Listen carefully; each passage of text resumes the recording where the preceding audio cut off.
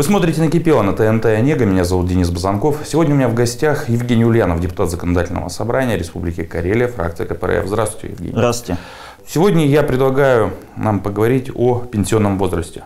Ни для кого не секрет, что в нашей стране бурная дискуссия развернулась вокруг того, чтобы пенсионный возраст повысить.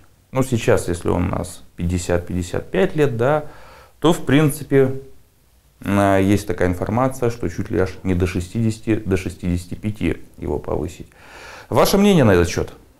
Ну, прежде всего, хотелось бы сказать, что на федеральном уровне э, фракция КПРФ э, в Государственной Думе внесла законопроект о моратории э, на повышение, Данная, идея, на, да? на повышение да, пенсионного возраста. У нас, как обычно, выборы прошли и начинают принимать непопулярные для населения, ну, можно даже сказать, антинародные законы. Да? Правительство уже пыталось э, внести этот законопроект э, на весеннюю сессию, но э, решила подождать и э, предположительно готовится данный законопроект на осеннюю сессию.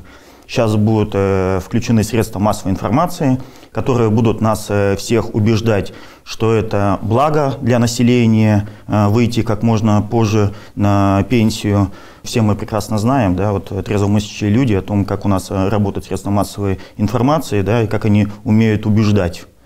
Ну, у меня то мысль немножко другая. У нас э, статистика смертности-то говорит о том, что до этого возраста-то далеко не все доживут просто. Да, ну еще хотелось бы сказать о том, что при повышении пенсионного возраста люди сами э, возрастные, с учетом того, что у нас э, безработица, как они будут конкурировать с молодежью и как они будут конкурировать, э, значит, с людьми, которые приезжают с ближнего зарубежья, да, молодежь, конечно, работодатель будет э, иметь прерогативу именно к молодежи.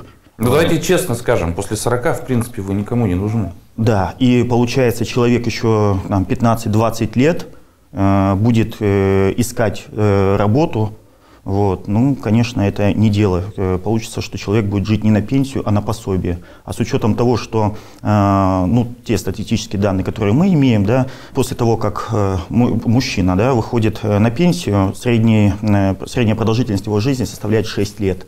Вот и получится, что у нас многие люди просто не доживут до своей Ну, о пенсии. чем, да, я уже и говорил. А в законодательном собрании эту идею как э, рассматривают, оценивают коллеги?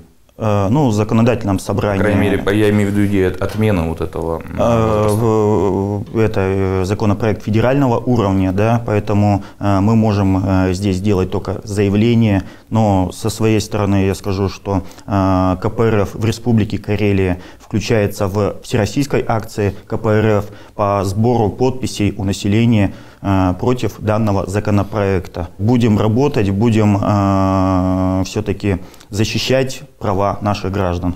Уже сейчас э, специалисты подсчитали, что государство, э, не, выпла- не, не- не платя значит, э, пенсию вот этим, кто не доживет до, Предельного до- до возраста. предельного возраста, э, сумма составит около 3 триллионов рублей.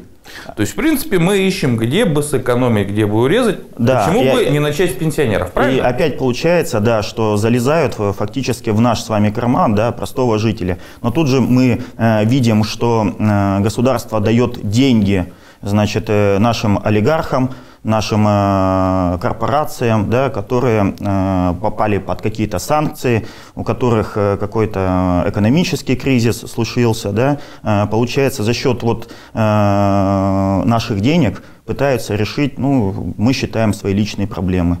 Ну что ж, на этом мы сегодня закончим. Я думаю, в следующей нашей программе мы поднимем тему э, закона карельского о детях войны, если вы не против. Ну а пока на этом все. Напоминаю нашим телезрителям, у меня в гостях был депутат Законодательного собрания Республики Карелия Евгений Ульянов, фракция КПРФ. Вы смотрели «Накипело» на ТНТ. Онега. Всего доброго. До свидания.